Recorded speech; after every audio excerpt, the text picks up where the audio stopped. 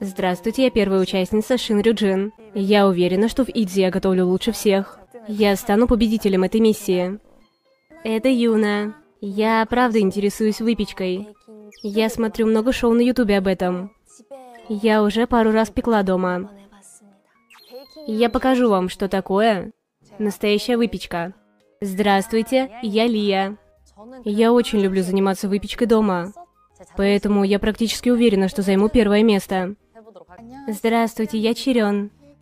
Готовлю я довольно давно. Я училась в известной кулинарной школе во Франции. Я собираюсь весело провести здесь время и получить много удовольствия. Здравствуйте, я Хван Еджи. Я никогда раньше ничего не пекла. Сегодня я буду выпекать что-то впервые.